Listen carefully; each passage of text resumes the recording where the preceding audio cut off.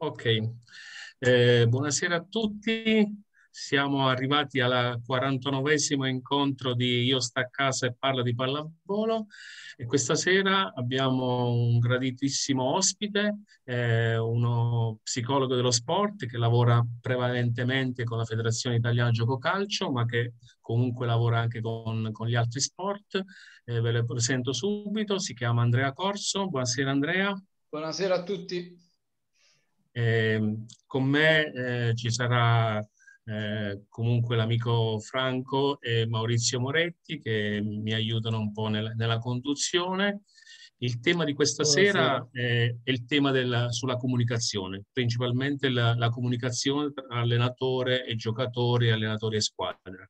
Eh, Andrea ha, ha, ha, deciso di scegliere ecco, i cinque momenti più importanti della comunicazione, ma prima di, di passare insomma, all'argomento volevo che, che, un po' ti presentavi, ci dicevi, ci raccontavi un po' cosa, cosa fai di, bello ne, nella tua vita.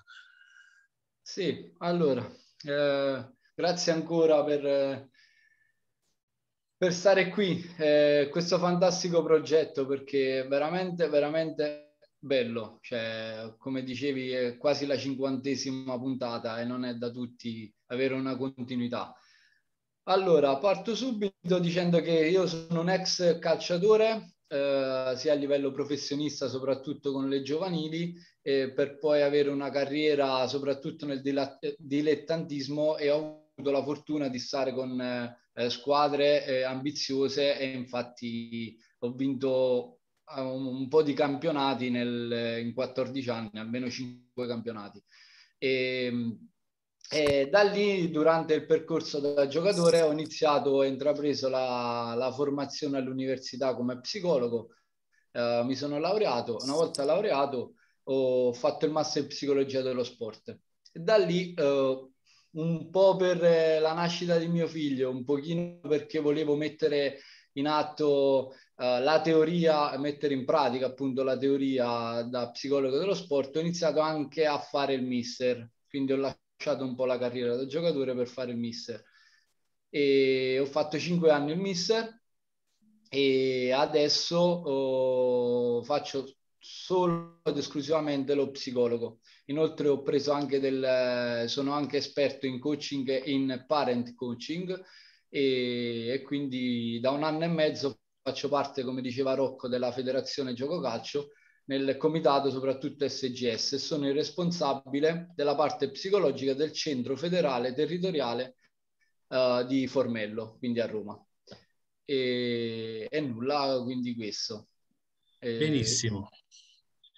E niente, allora siamo curiosi, è un tema che ci interessa molto, speriamo anche poi di, con le domande avremo, avremo modo insomma di, di, allargare il discorso, ma eh, ecco, inizialmente eh, partiremo con, con, la tua presentazione su quello che, che, abbiamo chiamato i cinque momenti della comunicazione. Benissimo, intanto condivido lo schermo. Eh? Sì. Eccolo. Perfetto.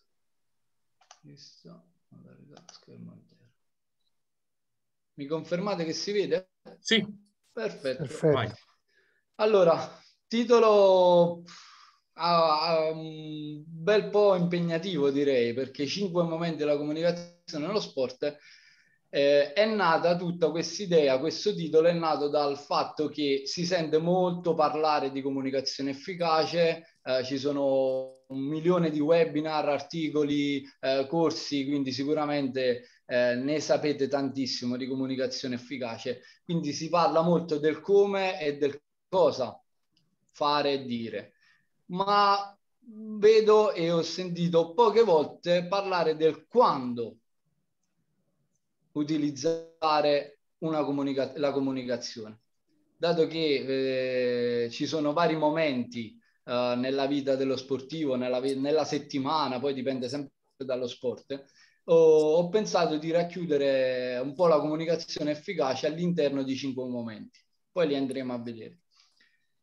Allora, la seconda slide fa riferimento proprio agli obiettivi della serata, che sono una piccolissima parte, metterò in evidenza gli strumenti utili per avere una, una comunicazione efficace Poi ci sarà la parte un po' la macro parte che sono i cinque momenti della comunicazione per poi concludere con il confronto finale eh, con domande, quello che dubbi, critiche, quello che volete.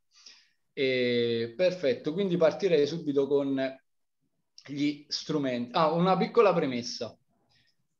Una piccola premessa per dire che uh, questo è pensato anche per dare una struttura e un'organizzazione all'allenatore, al mister, al formatore, al tecnico, come lo vogliamo chiamare, ehm, mentale soprattutto, e, e spero che dia anche delle parole chiavi, dei punti, dei concetti che possono essere utili durante il, ehm, tutto l'anno sportivo. In poche parole, durante la settimana e che sia, durante proprio tutti i momenti dello sport.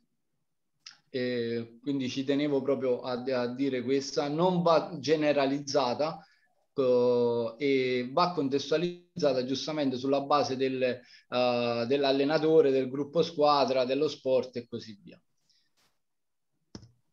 Prima degli strumenti c'è una piccola provocazione. Si parla sempre di comunicazione, che è appunto, come ben sapete, il trasferimento di un'informazione da una persona a un'altra persona. Questa viene uh, elabora il messaggio, viene codificato per poi rimandarlo attraverso un feedback. Quindi parliamo sempre di una comunicazione circolare, ma è una comunicazione unidirezionale. Ma la comunicazione è prettamente influenzata da tantissimi altri fattori come il fattore culturale, fattore proprio uh, emotivo, eh, fattore comportamentale e fattore ambientale. Esempio il fattore ambientale, ci possiamo esempio nel calcio, giornata di pioggia è diversa da una giornata di sole, inevitabilmente condizionerà, influenzerà la nostra comunicazione. Spogliatoio piccolo, spogliatoio grande, spogliatoio sporco, spogliatoio pulito, 100 eh, persone al, durante la partita, 1000 persone durante la partita. Inevitabilmente tutto ciò influenzerà il nostro modo di comunicare con la squadra e con l'atleta.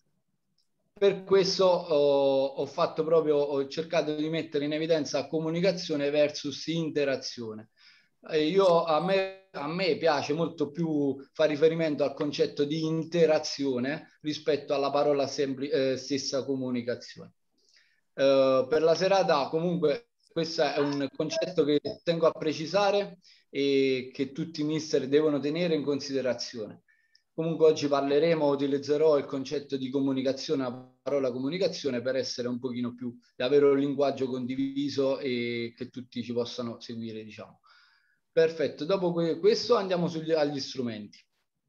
Tutti voi sapete gli assiomi della comunicazione, eh, ma eh, voglio mettere in, eviden- in evidenza una, sugli assiomi della comunicazione non si può non, non comunicare, quindi l'aspetto non verbale è fondamentale. Dall'altro si è evidenziato che circa il 90% dei fraintendimenti, dei conflitti, avviene soprattutto sul come vengono dette le cose rispetto a cosa, cosa viene detto. Quindi anche una, è un aspetto fondamentale da tenere in considerazione perché molte volte possiamo utilizzare le più belle parole, ma eh, abbiamo un comportamento non verbale, non idoneo, non coerente con quello che stiamo dicendo, un paraverbale, un tono, un volume appunto non coerente, eh, il messaggio che passa è soprattutto il come viene detto. Che poi cosa è fondamentale, ma eh, il come si è visto, proprio le ricerche hanno evidenziato circa il 90% dei fraintendimenti avviene sul come. L'altro aspetto è quello sulla comunicazione simmetrica e la comunicazione complementare. Simmetrica, come ben sapete, è stare sullo stesso piano, no? E quindi, ad esempio, quando io sto parlando, io mister, io allenatore, sto parlando con un atleta, um, senza che ci sia una differenza di chi comanda, ad esempio per scoprire, per capire eh, cosa è successo, per un, in una situazione molto empatica. Quindi siamo in una, in una comunicazione, viene chiamata appunto simmetrica. Complementare invece è quando c'è proprio una disparità, quindi si chiama one up, one down. E one up quando io mister eh, sto parlando alla squadra attraverso, dato che sono leader autorevole, eh, si spera, ehm, quando parlo alla squadra su cosa fare, come intervenire, qual è l'allenamento di oggi e così via. One down è quando ad esempio io posso stare in una posizione one down quando sto parlando, sto parlando con eh, il direttore, il dirigente, il, il, presidente. Poi dipende sempre dalla situazione e da come. Comunque la maggior parte dei rapporti comunicativi che ci sono all'interno dello sport sono rapporti complementari, soprattutto quando parliamo della sfera dell'allenatore. Rapporti complementari nella gestione però di rapporti simmetrici. Questa è una frase che tengo a sottolineare perché è stupenda. Rapporti complementari nella gestione di rapporti simmetrici. È proprio la bravura nostra quella di shiftare da, una da essere nello, sullo stesso piano a poter essere one up o one down in base alla circostanza. Perché alcune volte essere in one down fa la differenza, altre volte meno. Comunque qui è una riflessione che, butto, che lascio a voi allenatori. L'altro, come ben sapete, che sono le parole chiave, gli strumenti chiave di ogni allenatore sono l'osservazione e l'ascolto attivo. Senza una buona osservazione un ascolto attivo diventa, diventa molto molto difficile entrare in rapporto con i ragazzi, con la squadra, con i dirigenti e, e con tutto ciò che è all'interno dello sport. E poi ho voluto inserire anche l'approccio direttivo, approccio non direttivo, che uh, negli ultimi mesi se ne parla tantissimo anche per quanto riguarda uh, come dire, l'apprendimento approccio direttivo, come ben sapete, so che ne avete parlato di questo tantissime volte, quindi approccio direttivo, indicazioni continue ai giocatori eh, che porta quasi inevitabilmente a essere al giocatore ad essere dipendente del mister e dell'allenatore perché gli diamo tutte le indicazioni possibili su cosa fare e come farlo. L'approccio non direttivo invece cerca di um, enfatizzare molto di più uh, l'autonomia, di creare anche degli ambienti in cui ci sono dei problemi e quindi i ragazzi devono arrivare alla soluzione di questi problemi. Come lo facciamo? Attraverso domande, attraverso feedback rinforzi positivi, attraverso feedback uh, a sandwich, tutto quello che, che volete. questo aspetto diventa fondamentale e far sì che l'allenatore sia competente quando riesce ad utilizzare entrambi i tipi di approcci. Non significa utilizzare solo uno o l'altro, ma quando riesce ad utilizzare i due tipi di approccio uh, sulla base uh, della, del contesto, sulla base della situazione, della gestualità tecnica che in quel momento vogliamo uh, dare un'indicazione o meno uh, sul gioco che stiamo facendo, sullo stile di allenamento analitico situazionale, cioè sono tanti aspetti che permettono di utilizzare un approccio direttivo rispetto a un approccio non direttivo. Quindi proprio la competenza del mister è saperli utilizzare entrambi. Quindi per concludere un attimino sugli strumenti è gli strumenti sono utili tutti gli strumenti sono utili, ma la bravura sta nell'utilizzare uno rispetto a un altro. La classica, io faccio sempre la metafora della uh, sacchetta da, um, la sacca con le mazze da golf, no? Il giocatore di, di golf uh, che gioca a golf utilizza una mazza rispetto a un altro sulla base di tante situazioni. E noi dobbiamo essere così, dobbiamo utilizzare lo strumento, la mazza giusta al momento giusto, per far sì che, che l'obiettivo uh, si raggiunga l'obiettivo, che tutto il contesto sia funzionale. Continuo e siamo arrivati al, uh, ai cinque momenti della comunicazione. E come vedete sugli opposti, diciamo su una linea, no? linea del tempo, che sono comunicazione in allenamento, comunicazione pre-gara, comunicazione durante la gara, comunicazione post-gara e il debriefing. Poi lo vedremo meglio perché può un pochino confondere in questo momento, però poi lo vedremo. Partiamo proprio dalla comunicazione in allenamento. Poi per ogni eh, momento ho cercato di inserire tre parole chiavi che possono essere o tre concetti che possono essere utili e da ricordare e da tenere in considerazione. Secondo me la comunicazione in allenamento, le tre eh, parole chiave, tre concetti sono conoscere, ambiente sereno e stile di conduzione. Conoscere, perché all'inizio a, inizio anno la cosa fondamentale, l'obiettivo fondamentale è quello di conoscere, capire, indagare gli obiettivi e le aspettative personali di ogni giocatore, cosa posso aspettarmi e comprendere dai, no, dai miei giocatori, se è un ragazzo una, o, o, una ragazza uh, disponibile, se ha un atteggiamento mentale rivolto alla crescita rispetto a, uh, alla, solo alla performance, um, che tipo di approccio devo utilizzare con uno rispetto a un altro, che tipo di è introverso estroverso.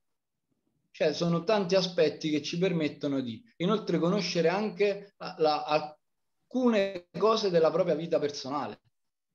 Esempio classicissimo, parlando dei giocatori adulti, se eh, eh, arrivo nella mia nuova squadra e vedo un ragazzo quasi sempre stanco nei primi allenamenti, la prima cosa che faccio è giudicare, perché è stanco, non voglia, non, è, non ha un atteggiamento giusto e così via.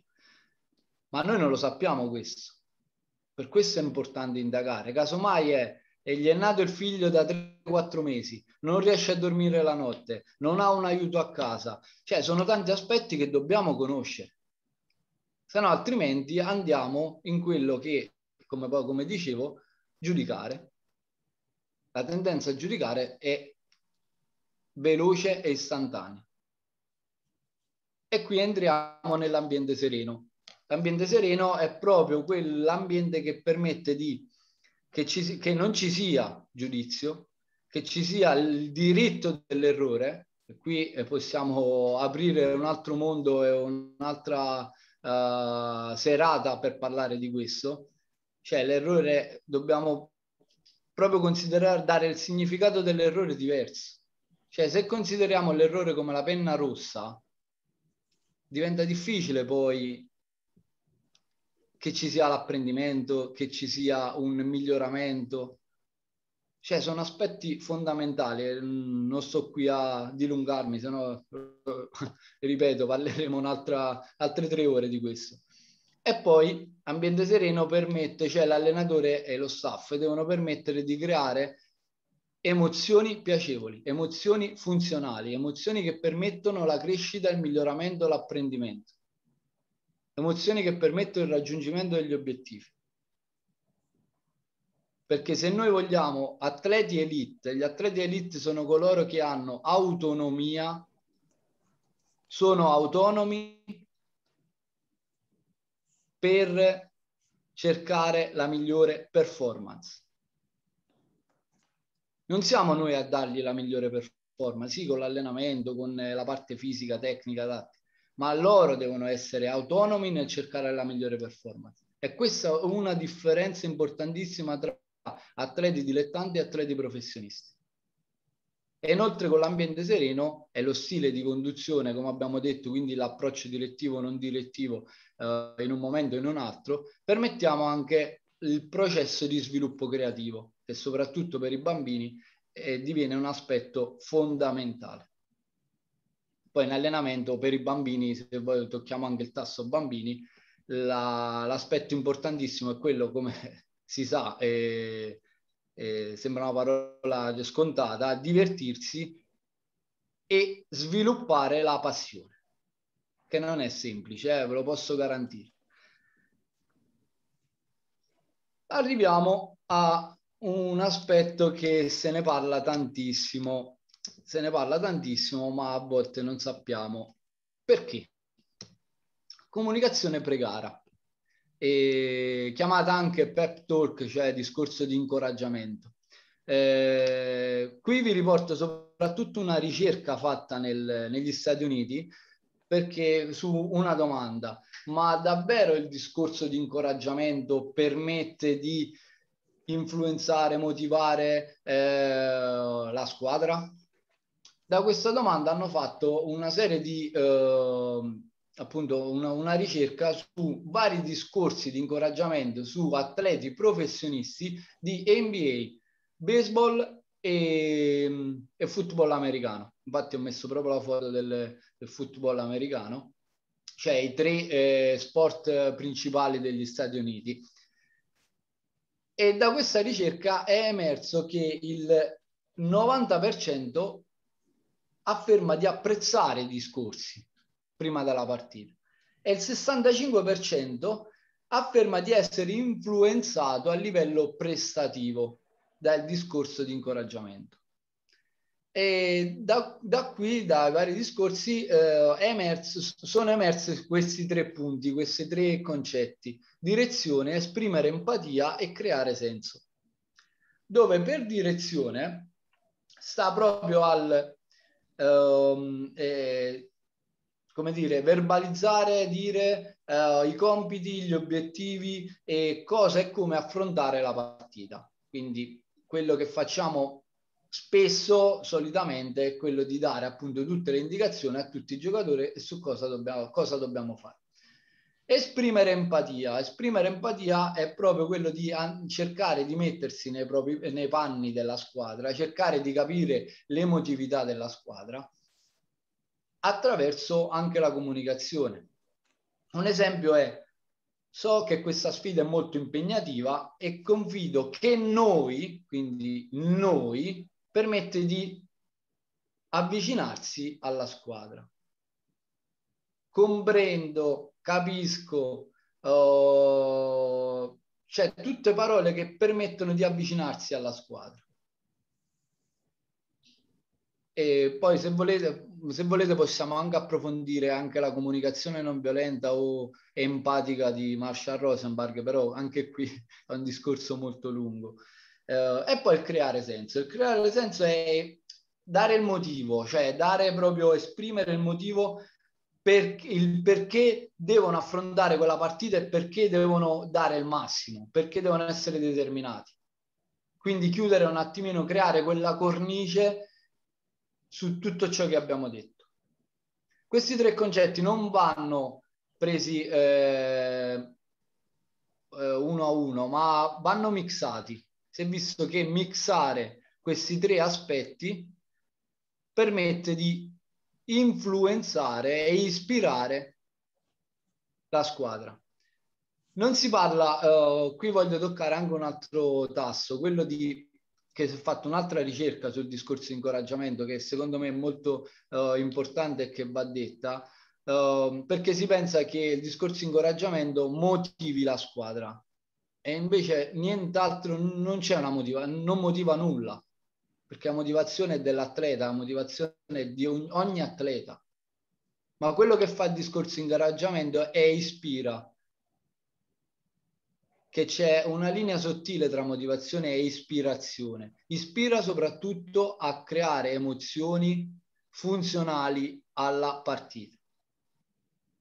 Quindi nel discorso di incoraggiamento un aspetto importantissimo è quello di cercare di ispirare queste, le emozioni che essere, possono essere anche rabbia, determinazione, eh, anche tristezza stessa che ci permette di unirci, no?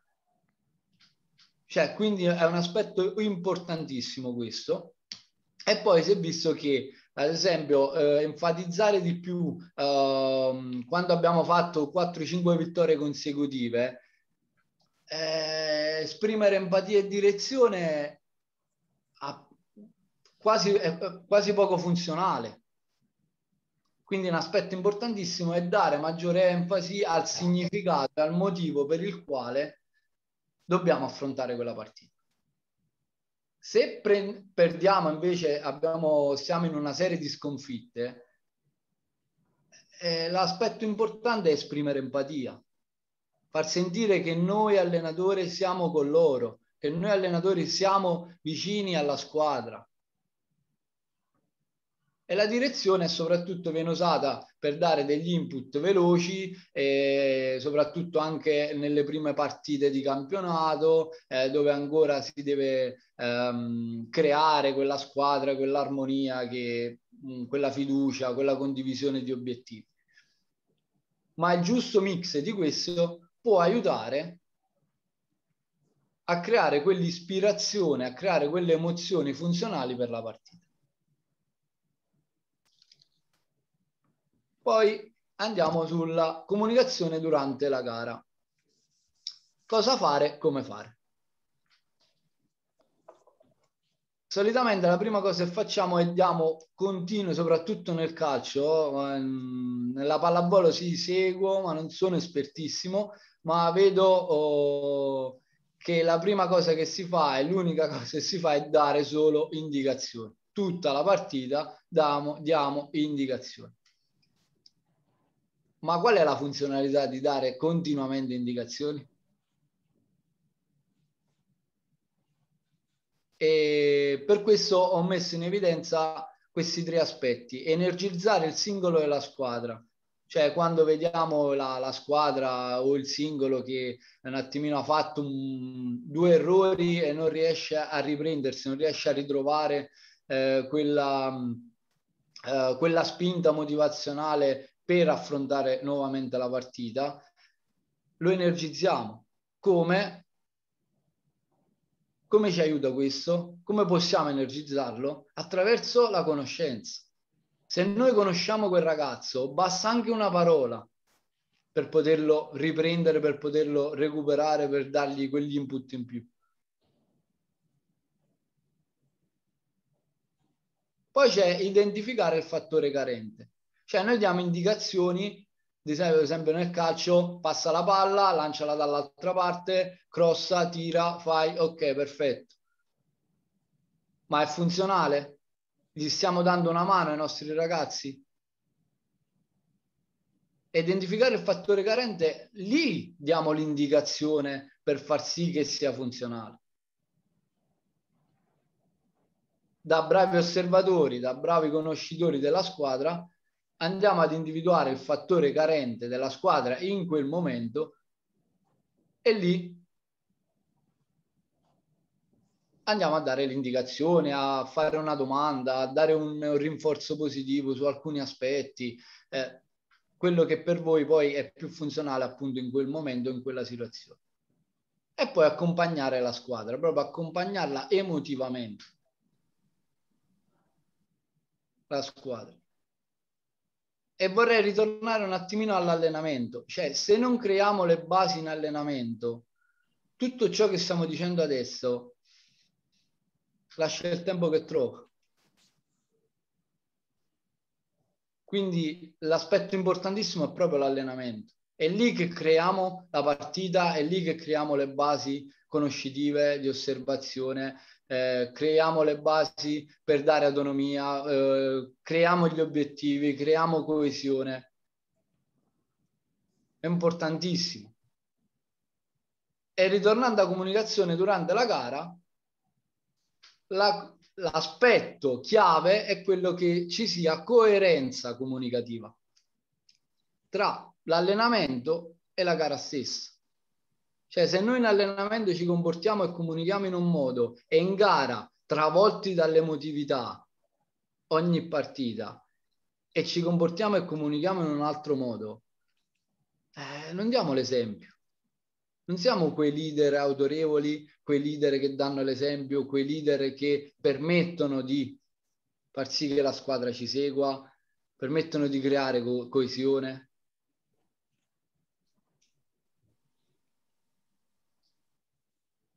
Poi arriviamo alla comunicazione post gara.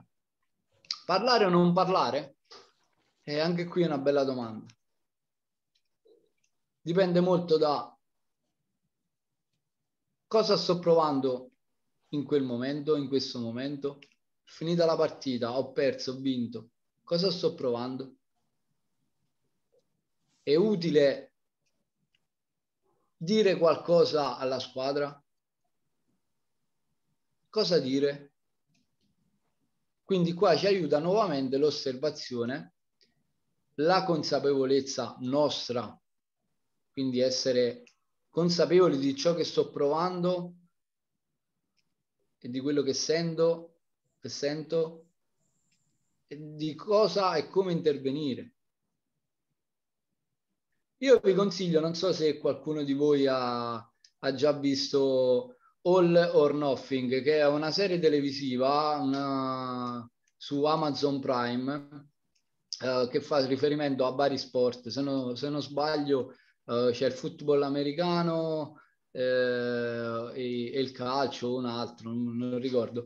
E vabbè, in due di queste serie ehm, fanno riferimento un anno intero, All or Nothing parlano di un anno intero di una squadra.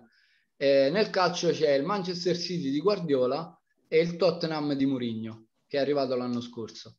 E vi consiglio il Tottenham di Mourinho perché lui entra a uh, campionato iniziato, a metà, quasi metà stagione, e si, vede, si vedono e si possono ascoltare e osservare tantissime cose di quello che stiamo dicendo adesso. La prima cosa che ha fatto Mourinho è quello di osservare, poi è andato a parlare con ognuno dei, dei, dei leader, passatemi un po' quello che credeva che erano i leader in quel momento, che potevano dare qualcosa di più alla squadra, personalmente, quindi è andato a capire, indagare quali erano gli obiettivi, le aspettative, ha interagito tantissimo con lo staff, hanno perso una partita fondamentale con il Chelsea, invece di incavolarsi è andato lì a rincuorare e a enfatizzare il, gli aspetti, i punti positivi della squadra.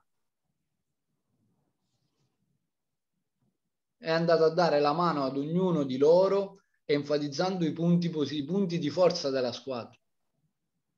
Quindi da, dalla, delusione, dalla forte delusione, dalla tristezza, uh, ha cercato di riportarli su, di riportarli sui punti di forza invece di mantenerli sui punti deboli e non è un aspetto da tutti perché solitamente quando uh, in una partita importante la squadra non va come pensa l'allenatore, la prima cosa che si fa è ammazzarli, insultarli, dire gli errori che abbiamo fatto. Quindi è qua, è anche qui, ogni cosa, ripeto, ogni cosa va contestualizzata sulla base del proprio modo di essere, il proprio modo di essere allenatore e della squadra che ho di fronte. Se no altrimenti eh, sembra un po' che una generalizzazione.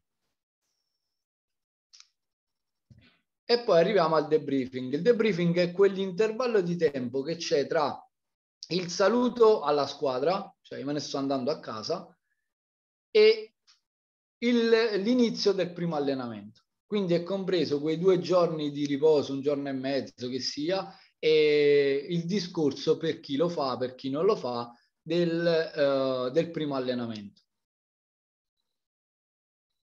E qui possiamo utilizzare, eh, non so, i video, se qualcuno ha a disposizione i video della partita, uh, si, man- si, inviano i video alla, della partita ai giocatori e ognuno può uh, andare a ricercare i punti su cui uh, migliorarsi, i punti in cui mh, poteva dare di più.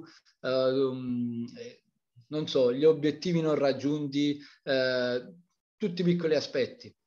Se non c'è la possibilità dei video, Uh, si appunto si ritorna in, uh, il giorno dell'allenamento e si può fare principalmente un discorso sulla base di, degli obiettivi condivisi della squadra, gli obiettivi uh, personali, uh, su uh, quello che si andrà a fare durante la settimana, eh, em, enfatizzare soprattutto sempre i punti di forza e parlare dei punti di debolezza come punti su cui migliorarsi durante la settimana. E qui dare comunque sempre l'enfasi alla, all'autonomia dei ragazzi, all'autonomia di volersi migliorare. Perché quando parliamo di squadra non parliamo di, di gruppo in senso lato, ma squadra, quando parliamo di squadra parliamo di egoismo di squadra, egoismo di gruppo. E quando dico egoismo di gruppo significa che ogni ragazzo, ogni giocatore è responsabile di quello che andrà a fare e ognuno ha l'obiettivo personale per poi la coesione stessa ha un obiettivo condiviso di squadra. Però se non c'è l'egoismo di gruppo, eh, anche qui è difficile, perché se io non ho, non sono responsabile del mio reparto, della mia situazione, dei miei obiettivi, non riesco neanche ad aiutare gli altri. E quindi è un aspetto anche qui importantissimo. Poi possiamo fare 3.000 esempi anche sul, uh, tra i bambini piccoli, tra quelli più grandi, under 15, under 16, under 17, gli adulti. Um, però uh, stavamo qui altre due ore, vi dico la sincera verità, quindi ho cercato di sintetizzare, semplificare e, um, e far emergere soprattutto le parole chiavi della, i concetti della, di questi cinque momenti. Poi, come ho detto, mi sono dato un tempo tra mezz'ora e 40 minuti, quindi eh, ho cercato di stare nei tempi, infatti quasi ci sono. E voglio concludere con questa bellissima frase di Benjamin Franklin. Dimmi e, e, e io dimentico, coinvolgimi e io imparo. Credo che all'interno di questa frase c'è un pochino uh, tutto quello che eh, è emerso in questo intervento. E grazie, quindi come uh, avete notato ci sono i punti di domanda e il confronto. Benissimo Andrea, ci hai fatto un quadro, ci hai fatto un'esposizione veramente molto molto bella e interessante. Ora eh, in questa seconda parte eh, insomma, cercheremo di, di, approfondire, di fare domande, di coinvolgere anche un po' gli ospiti. È una cosa che, che ho notato che in tanti allenatori come me, come tanti altri, abbiamo preso tanti appunti perché insomma ci, ci sono venute in mente eh, diverse cose. Eh, credo che sia arrivato anche Maurizio. Ci sei Maurizio? Sì, sì, sì, ah, eccomi ah, okay, qua. Okay. Ciao eh, a tutti. Ciao Maurizio. Okay. Sì, sì, ciao. Ho, ho ascoltato gran parte del, di, dell'esposizione. Allora, partiamo un po' con un po' di domande. Io, io ne ho qualcuno... Scusa Rocco, scusa se ti interrompo. Sì. Oh, volete che tolgo la condivisione? Sì, va, va bene anche. Come, come, sì, va bene. Okay. Perfetto, così possiamo okay. guardarci, diciamo, dai. Adesso in, interagiamo un po'. Eh, Franco, c'hai, c'hai, già una domanda per, per Andrea? Sì, ehm una domanda sulla comunicazione. No? Tutta questa teoria, mi, doma- mi domando, ma do- la dobbiamo eh, trasmettere anche ai giocatori? Cioè, queste nozioni è importante che le condividiamo, non dico tutte, con la squadra oppure rimangono soltanto dei strumenti che noi utilizziamo per essere più efficaci nella comunicazione? Mm. Bella domanda. Allora, uh, molto, allora, molto dipende che concetti, quali sono gli obiettivi che vogliamo portare avanti, no? E poi dipende molto anche dalla categoria. Cioè, se siamo con adulti è un discorso, se siamo con uh, ragazzini piccoli è un altro. Eh, quindi Franco, che, su quale contesto, quale categoria vogliamo approfondire? Ah, ok. No, in, in, in, un contesto dove noi vogliamo creare una cultura di un certo livello, dove vogliamo sfruttare eh, tutti gli strumenti possibili, no? quindi la conoscenza delle emozioni, di, di, di quello che costruiamo con quello che diciamo, dell'importanza di come lo diciamo, eccetera cioè, per esempio, i momenti è importante farli condividere. Non parliamo di bambini, però già dalla squadra di eccellenza giovanile o da una serie B, C. Okay. Eh, cioè è importante che, compre- che io eh, faccia comprendere come mi muovo oppure lo faccio punto. Allora, sulla parte comunicativa io credo che non eh, sia poco funzionale far um, come dire, eh, dire eh, cosa sto facendo e perché lo sto facendo. Ah, ok. Credo, cioè io credo, la, secondo me l'aspetto fondamentale da parte dell'allenatore e quindi che è il leader, no? uh, e, perché un allenatore automaticamente deve essere un leader autorevole, tutto quello che, che vogliamo dire, tutte i paroloni del leader, perché sa tantissime cose sul leader, sulla leadership, però un aspetto importantissimo, Franco, è trasmettere i propri valori, condividere le regole, condividere gli obiettivi. Ok. Perché comunque la competenza viene da te, viene da te allenatore. E ritornando alla relazione complementare, no? E la relazione complementare c'è nella competenza, non c'è nelle regole. Che le regole sono condivise, i valori sono condivisi, gli obiettivi certo. sono condivisi. Però nella competenza eh, no, sei te l'allenatore, sei te che devi dare quel, quel qualcosa in più okay. alla squadra. Perché Bene. noi insegniamo abilità. Ok, vai, vai, vai Andrea, vai. Noi insegniamo, insegniamo abilità, insegniamo mh, mm, tecnica, insegniamo tattica, tutto quello che volete, ma anche nei bambini dobbiamo trasmettere questo. Cioè, trasmettere la passione dello sport non è soltanto, eh, soltanto che dire, eh, ok, ci divertiamo, vediamo che si divertono e basta. No, dobbiamo lavorare, dobbiamo formarci per creare delle, stru- delle strutture di allenamento idonee che portano il ragazzo a divertirsi e allo stesso tempo crescere. Perché i bambini, quando si divertono, lo fanno seriamente cioè, non è che il, il divertirsi significa solo ridere e scherzare.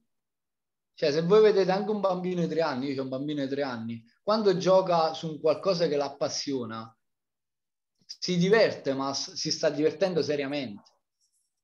E la maggior parte delle volte chi interrompe questo divertimento siamo noi adulti. E quindi qua poi tocchiamo un altro tasto, vabbè. Però Andiamo. quello che ci tengo molto a dire è trasmettere valori trasmettere e condividere obiettivi e regole, che credo sia la, il punto cruciale, il punto fondamentale. Ok, grazie. Allora Andrea, volevo dire due cose. Uno, su questo del divertimento che stavi dicendo, qualche giorno fa eh, con Maurizio e, e, Davide Mazzanti parlavamo proprio del, del divertimento, perché abbiamo notato che eh, Perugia, che era una squadra che in questo momento sta allenando Davide, era una squadra che stava faticando perché era ultima in classifica, quindi veramente stava faticando con l'acqua alla gola, rischio di retrocessione, insomma così. Eh, e, noi abbiamo notato, io glielo, gliel'ho scritto pure, che vedevamo che questa squadra, soprattutto nelle ultime partite, cioè, eh, si divertivano in mezzo al campo, cioè, tu trasmet- vedevi no, le ragazze anche con il sorriso tra di loro se... e quindi dicevamo ma, ma, questo concetto di divertimento lui ci ha spiegato, ci ha, ci ha detto che eh, ha fatto un po' riferimento all'etimologia della, della parola divertimento che, eh, che significa un po' diverso da quello che noi pensiamo, cioè del fatto, sai, di scherzare, ma del fatto di, di elevarsi, di evolversi rispetto a qualcosa. Quindi cioè, ci hanno lavorato su, su questa cosa qui e, e, ed è una cosa che, che, si vedeva, insomma, volevo, volevo condividere questa cosa con voi. Poi volevo farti una domanda su, sempre sulla comunicazione, che è un tema anche molto attuale, quello delle, delle, interferenze nella comunicazione, interferenze che possono essere, che ne so, a livello di squadre giovanili, magari i genitori, ma a livello anche di squadre eh, adulte. Poi insomma chiederemo anche, anche a Silvano de, del, um, delle mogli, de, dei tweet, de, dei giornali, di tante cose che, che magari possono eh, allontanare, creare problematiche varie tra allenatore e giocatore, tra allenatore e squadra. Ecco, la gestione delle interferenze. Ah, be- bellissima domanda, bellissima domanda. E qui vorrei eh, a questo punto metto in campo un po' una ricerca che ho letto un po' di mesi fa di una psicologa Miranda Kay si chiama, se, no, se non erro, che proprio posto questa domanda, cioè nel senso si parla tanto di comunicazione nello sport eh, tra eh, il mister eh, il discorso prepartita del mister, i discorsi che fanno i dirigenti, i direttori eh, tra ragazzi, però si parla poco, si è studiato pochissimo ciò che comunicano i genitori ai propri figli, oppure in questo caso parliamo dei genitori ai propri figli, prima di arrivare al campo e ho fatto una ricerca su tantissimi bambini, eh, mettendo in evidenza anche, facendo dei test questionari anche ai genitori. E per farla breve, eh, i due concetti base sono un po' quelli di Carol Dweck, no? Uh, quindi un po' quell'atteggiamento di uh, il mindset rigido, il mindset di crescita, il groove, no? E, e, quindi si è visto proprio una mentalità di, si è fatto riferimento a una mentalità di performance, a una mentalità di crescita. Se i genitori utilizzavano delle parole e davano delle indicazioni su migliorare, cioè che dovevano andare in partita e sconfiggere, sconfiggere l'avversario, ammazzare l'avversario, dovete vincere per forza, quindi concentrarsi sulla prestazione, sulla performance, aumentava i picchi di ansia in una maniera impressionante nei confronti dei bambini e ragazzi, eh, perché parliamo anche di fino a 18 anni. Se invece i genitori ponevano e facevano un discorso, utilizzavano delle parole rivolte più a una situazione di miglioramento personale, un miglioramento di, di crescita personale e di obiettivi personali, i picchi di ansia erano quasi inesistenti. Cioè, a me mi ha colpito tantissimo questa, questa ricerca e ad, ad esempio faccio due esempi molto veloci. Se il genitore dice devi battere quei ragazzi, è diverso da potresti avere l'opportunità di battere il tuo record. Sostanzialmente uno può pensare, ok, stiamo dando comunque una, una, un'ansia e, in tutti e due gli aspetti. Però la ricerca ha evidenziato che mettendo, eviden- eh, mettendo il focus sulla uh, crescita personale, il confronto personale rispetto al confronto con l'altro, porta più benefici. E automaticamente aumenta anche la prestazione poi. Eh. Quindi qui ritorniamo anche al concetto di apprendimento, è più importante la prestazione o è più importante l'apprendimento? E qui tocchiamo un altro, possiamo fare anche un'altra riflessione lunghissima su questo aspetto. È una riflessione che poi alla fine posso porvi anche a voi allenatori. Per voi è più importante la prestazione o l'apprendimento?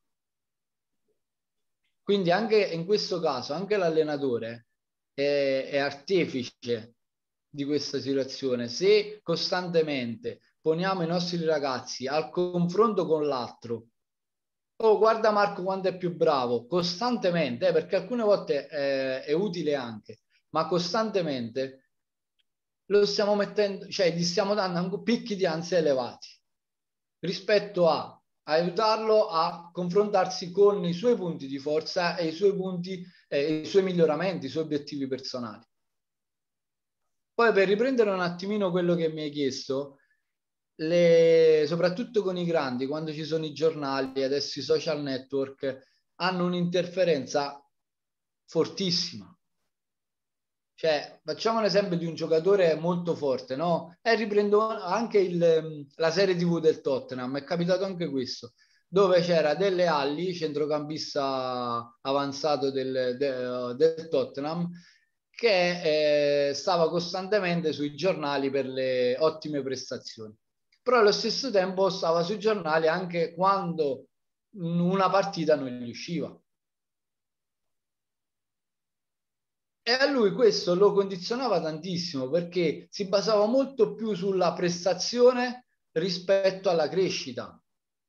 E qui eh, poi eh, con lo staff Mourinho, eh, ha fatto un lavoro eccezionale tale che eh, da una partita all'altra comunque c'è stato un cambiamento importante. Quindi anche qui l'allenatore deve conoscere il ragazzo, deve osservare ciò che sta facendo,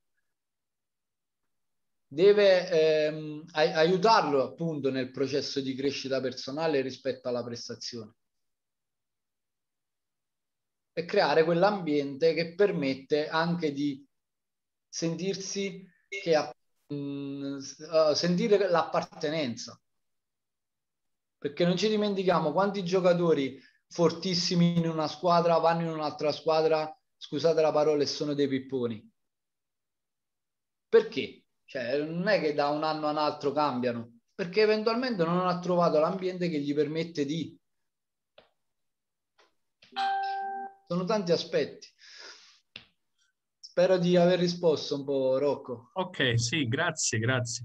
Eh, Maurizio, hai una domanda? Io ho due o tre domande sulla chat, però volevo sentire prima Maurizio e Silvano se avete domande per Andrea su quello che, che abbiamo detto. Ma eh, sì, io mm, faccio una domanda, no? perché mm, gliel'avevo già fatta Andrea, eh, diciamo, quando abbiamo preparato questo incontro e la ripropongo stasera. E lui ha, ha diciamo, indicato cinque momenti che sicuramente sono momenti importanti della comunicazione, no? che sono eh, la comunicazione durante l'allenamento, la comunicazione pre-gara, la comunicazione po, eh, post gara, no, durante la gara, post gara e il debriefing. Eh, però quello che dico io no, è che spesso eh, ci sono altri momenti di comunicazione nelle, nelle, squadre che sono esterni a questi momenti qua, no?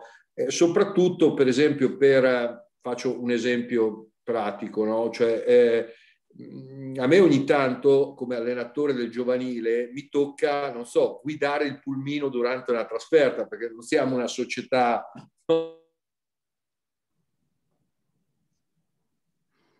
Abbiamo perso Maurizio.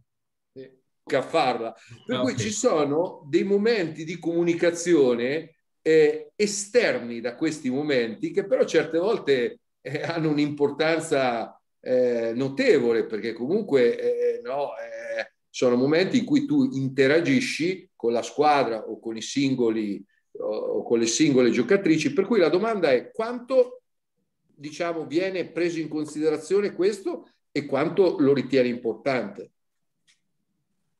Ok, ottima domanda. Uh, lo ritengo molto importante e credo che la, la, il concetto base su tutto ciò sta nell'avere, come in ogni cosa, anche in allenamento, durante la partita, nello spogliatoio, che sia la giusta distanza.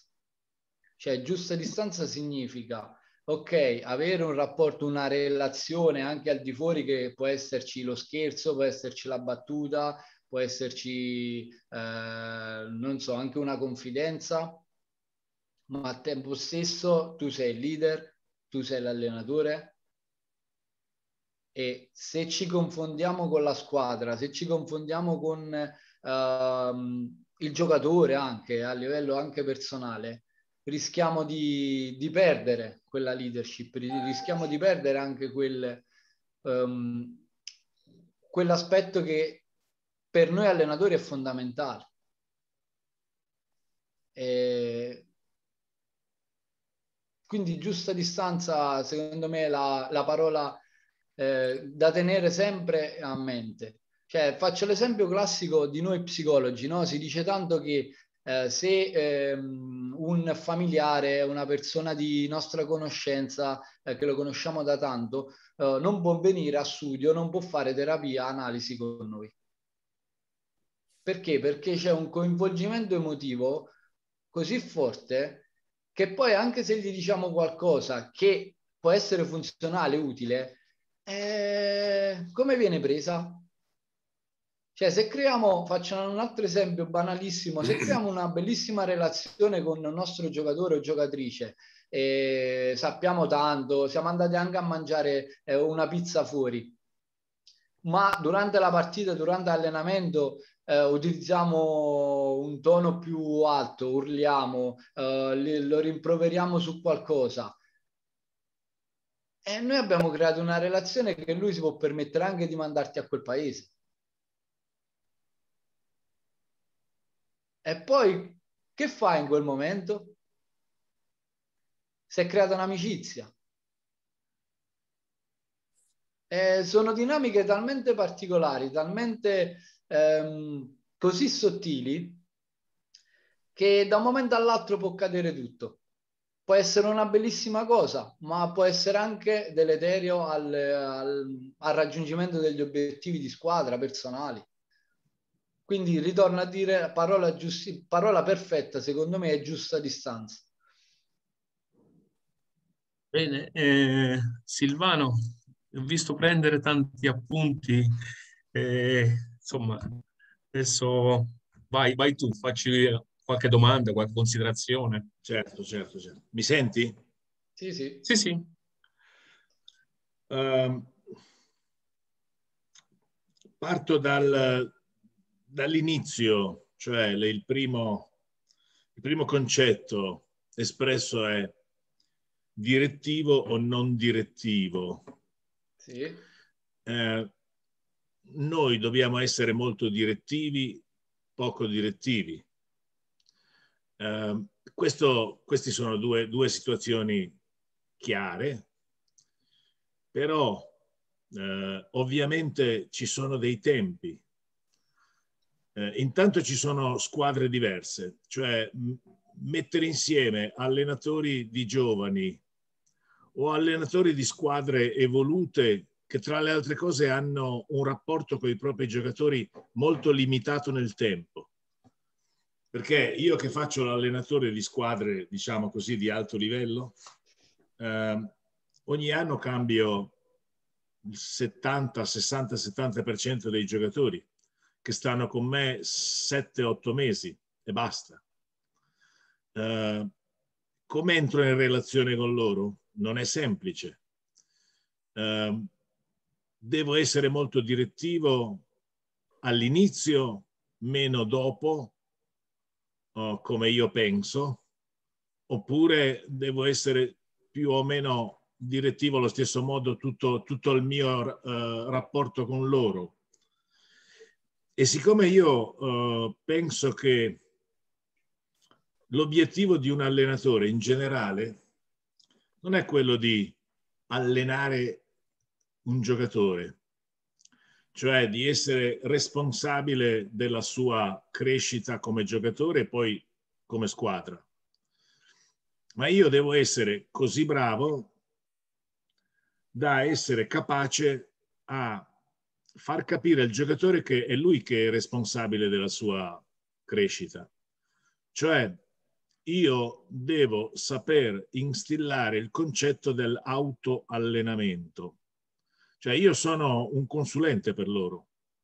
Non sono quello che gli dice ABC cosa devono fare e, e li punisce se non fanno bene. Cioè, io mostro loro qual è la strada che devono percorrere. Dopodiché sono loro che percorrono la strada. Io devo sapere, casomai, dare dei consigli se la stanno percorrendo bene o meno bene. Però sono loro e io ho sempre in testa una metafora che, sai, io alleno la, la nazionale bulgara, i bulgari hanno una, un concetto, in genere quelli dell'est, un concetto di uh, comunicazione basata sulle metafore, no? che è straordinaria perché le metafore colpiscono molto, no? E, e, e, io sono rimasto sempre colpito dal fatto che io sono quello che uh, prepara la bicicletta per i miei atleti. Se io sono bravo, la bicicletta sarà molto qualitativa.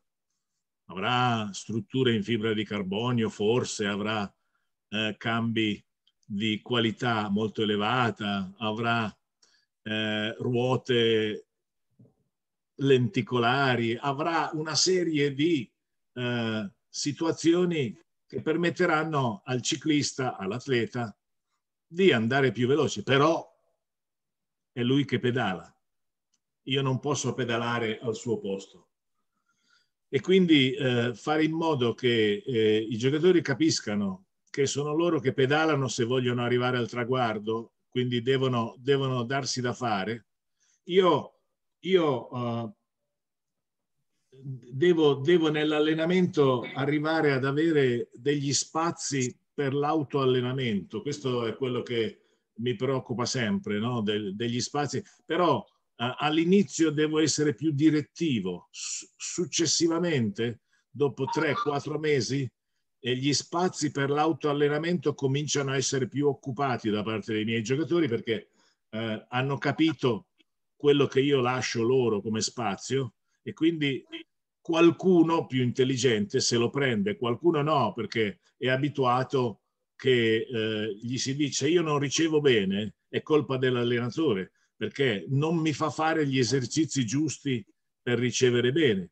Io invece devo far capire ai giocatori che io faccio una serie di cose, dopodiché se qualcuno ha più bisogno di qualche esercizio in più per la ricezione, per il muro, per eh, l'alzata, eccetera, se lo deve fare da solo oppure mi chiede di farlo, io glielo organizzo, però è lui eh, se lo fa di più, cioè è lui che mi chiede, io voglio ricevere, voglio, posso fare la macchina sparapalloni, posso venire domattina in palestra, allora io gli organizzo, però voglio la sua richiesta, altrimenti um, io lascio che, che faccio quello che, quello che, io stabilisco. Eh, mi fermo. Eh, la, la, domanda è, è, stata molto articolata, molto complessa, però probabilmente Andrea si, si divincola bene. No, credo che... Ormai la gente si è abituata, quindi... Allora... Credo che aggiungere altro lei ha dato una spiegazione bellissima di come utilizzare un approccio direttivo rispetto a un approccio non direttivo.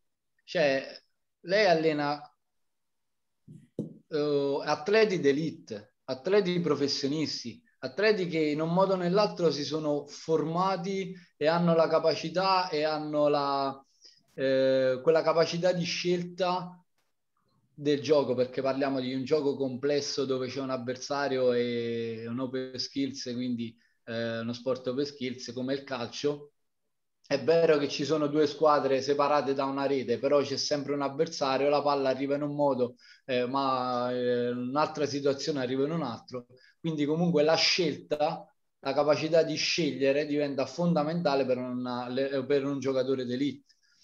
Quindi eh, parliamo di giocatori d'elite e lei ha utilizzato sulla base di quello che ha osservato, sulla base della sua esperienza, sulla base del, eh, di quello che ha vissuto e sente in quel momento, l'approccio più ideale, più funzionale. Quindi secondo me aggiungere altro sarebbe inopportuno uh, e poco funzionale secondo me all'intervento rispetto a se avesse fatto una situazione del genere eh, con ragazzi under 14 avrei qualcosa da ridire. Perché dobbiamo se l'obiettivo nostro è quello di dare autonomia ai nostri atleti eh, di dargli la possibilità di poter scegliere trovare le soluzioni utilizzare solo un approccio, un approccio di, prettamente direttivo sarebbe inopportuno e poco efficace. Nel caso, nel contesto suo, comunque anche gli obiettivi sono un attimino diversi rispetto ai ragazzini, dove comunque allena la nazionale. Eh, l'obiettivo prioritario credo che sia comunque vincere, con tutto allenarsi bene e migliorare la prestazione e quindi inevitabilmente anche nel calcio, quando a volte vediamo Conte, vediamo eh, Simone Inzaghi che parlano dal eh, primo minuto fino a arrivare al 110 minuto, eh, danno solo indicazioni e qualcuno mi può dire ok, l'approccio è prettamente direttivo. Però là parliamo di un altro discorso, un'altra situazione eh, ed è proprio bravura dell'allenatore. Se è arrivato fino a lì e riesce a comprendere l'emotività dei ragazzi, riesce ad osservare ciò che in quel momento per loro è più funzionale, perfetto. Cioè non, eh, per quello dico, aggiungere altro sarebbe inopportuno e le faccio i miei complimenti se sta lì e riesce a shiftare un approccio più direttivo a un approccio meno direttivo in un momento rispetto ad un altro. Quindi, cioè, è proprio questa la bravura utilizzare tutti e due i tipi di approcci per far sì che si arriva a un obiettivo. Benissimo. Ci sono due o tre domande sulla chat che ti giro, Andrea. Sì. Eh, uno è Tonino Federici, ci, ci, ti vuole chiedere eh, a proposito della comunicazione che la società indirizza verso giocatori e allenatori e ambiente. Eh, a volte non c'è coerenza tra la filosofia dell'allenatore e la, e la, la comunicazione della società. Ecco, in questo caso come, come ci si può comportare? Eh, capita spessissimo, pure nel calcio è, è, un aspetto molto molto frequente, quindi chi è che cambia? Eh, la domanda chiave è, eh, io atto cambia la società o cambia l'allenatore? Cambia, il cambiamento, come lo intendo, significa che bisogna un attimino trovare quelle condizioni per, eh, per la quale avvicinarsi anche alla società, non in termini di obiettivi, perché noi sappiamo quali sono gli obiettivi, ma in termini comunicativi che forse è una, una sfida ardua, no? Quando parliamo anche di... Eh, cioè ci sono dei conflitti, in questo caso parliamo di conflitti, che può essere lo stesso conflitto tra marito e moglie, tra fidanzato e fidanzato. Ci sono dei conflitti, in un modo o nell'altro uno non vuole cambiare e un altro vuole cambiare. Oppure tutti e due non vogliono cambiare, io la penso in un modo, la, lui la pensa in un altro. Quindi no, per cercare di vivere in serenità, passatemi un po' il termine, eh, uno dei due deve, deve cambiare. Cioè, proprio questo è un aspetto importante, o altrimenti lascia. Eh, non ci sono altre situazioni. Se, se, io lavoro per un obiettivo e la società ne vuole un altro, cioè io mi sto snaturando io credo che la cosa principale è essere se stessi e portare a termine quello che io voglio. Quindi snaturarsi al fine di oppure rimanere in una società e tornare a casa sempre, scusate la parola anche per le, per le donne presenti, incazzato nero, che mi dà problemi anche in famiglia, È, fun- è funzionale e utile stare ancora nella società? Quindi poi non so, cioè, poi ci sono tantissime altre esigenze, tantissimi altri fattori che vanno valutati nel contesto, vanno valutati su, ok, il, eh, dirigente si, mi dice una cosa e io ne dico un'altra, ok, che cosa gli dici nel momento in cui, quindi comunque anche qui eh, l'aiuto ad esempio di un eh, supporto psicologico di uno, uno, psicologo dello sport in questo caso può aiutare un attimino a mediare questa situazione. Eh, io, io la, la, dico sempre infatti gli allenatori devono sapere le basi di tutto. Cioè non posso pretendere che un allenatore e non posso pensare che un allenatore sappia solo di tecnica tattica dello sport specifico cioè la base di, eh, di, psicologia, avere una base sulla nutrizione, avere una base sulla parte di preparazione atletica è fondamentale anche per dialogare con tutto lo staff. Cioè non posso delegare ogni cosa cioè io devo trovare anche un linguaggio. Se il preparatore atletico mi, mi viene a dire ok, eh, questo si è fatto male in questa situazione, dobbiamo lavorare così, io devo sapere di cosa si sta parlando. Spero che... Sì. Cioè, non ho risposto eh, per dare la soluzione alla parola magica, sicuramente, ma non ce l'ho la parola magica, cioè, vi dico la sincera verità sarei un ipocrita a dire no, fai così e ti risolvi la, la situazione. Eh, quindi. Eh, sì, c'è una domanda nella chat, non so se, se la leggi anche tu, eh, te la dico. Eh, c'è differenza tra informare e comunicare? Comunicare significa coinvolgere. E che le cose più importanti nel comunicare sono chi ascolta ed il messaggio che si vuole trasmettere. Ok. Allora, anche qui eh, c'è una bella differenza, cioè la comunicazione è uno strumento che noi abbiamo per informare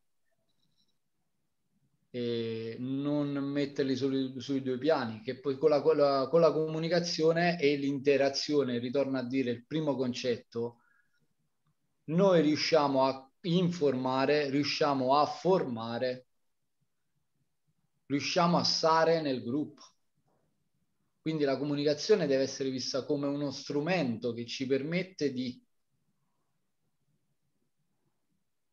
Quindi non so se, se sono stato chiaro in questo, cioè nel senso mh, mm, non li riesco a vedere sullo stesso piano. Cioè la comunicazione è proprio, ritorno a dire, la comunicazione è lo strumento che ci permette di informare, quindi comunque su due cose diverse. Cioè, senza comunicazione io non informo, che informo? Come faccio a informare o formare? Dicevi anche che l'importanza del, del, feedback di ritorno, cioè spesso magari noi allenatori diamo tante informazioni, certo. E, e, però dovre, dobbiamo essere bravi a capire cosa è arrivato, perché è quello, la, la, cosa più importante è quello che arriva, non, non quello che, che parte, cioè noi magari pensiamo di aver detto delle cose, in realtà magari il giocatore eh, o la squadra eh, ne ha capito un'altra, no? Quindi l'importanza di chiedere sempre il feedback, che dicevi tu, ma, ma ce l'hanno sottolineato anche molto, molti altri allenatori. Eh... Il feedback è, è, l'aspetto fondamentale per far sì appunto, e come dicevo prima, ci sia questa comunicazione circolare. Il feedback è fondamentale per rinforzare un comportamento all'interno dell'allenamento, rinforzare un comportamento nella, durante la partita,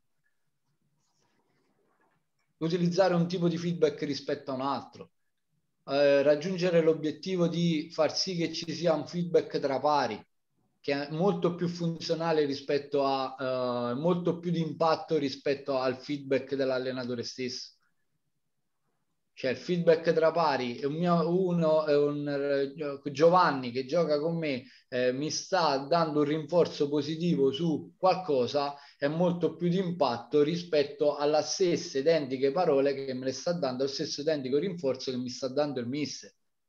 Come vale per il positivo, vale anche per il negativo, eh? cioè, quindi l'importanza del feedback è quello che chiamano peer-to-peer, cioè quello, quello tra Bravissimo. pari, ne abbiamo parlato anche alcune volte.